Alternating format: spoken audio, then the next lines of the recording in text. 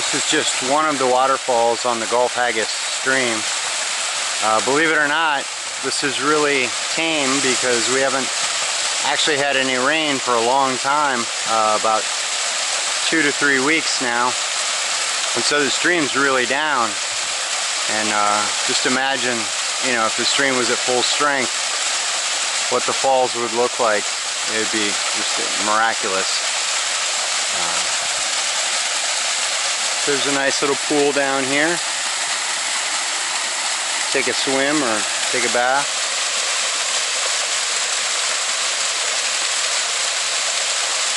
I love this one because it, uh, it feeds from two sides and they collect in the center there in that notch.